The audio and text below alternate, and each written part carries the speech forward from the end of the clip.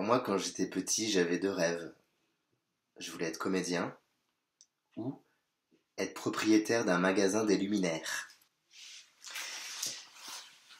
Mais c'est hyper compliqué d'avoir sa propre boutique. Merci les banques. Merci les banques d'avoir cru en mon projet. Tout le monde s'appelle pas le Théâtre Lebout et Alexandre de Limoges. Parce que lui, il a cru en moi. Il a cru en moi tout d'abord pour jouer dans sa pièce. Asseyez-vous sur le canapé, j'aiguise mon couteau, et il m'a même permis de faire trois fois le Festival d'Avignon, rien que ça. Il a aussi cru en moi pour les spectacles pour enfants qui se jouent au théâtre, au théâtre Lebout.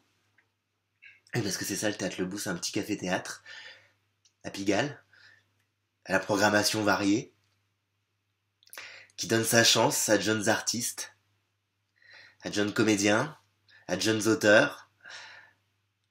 Mais malheureusement, ce théâtre, il est en danger.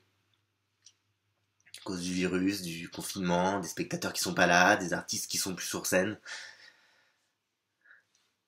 Donc si vous voulez aider le théâtre, c'est maintenant.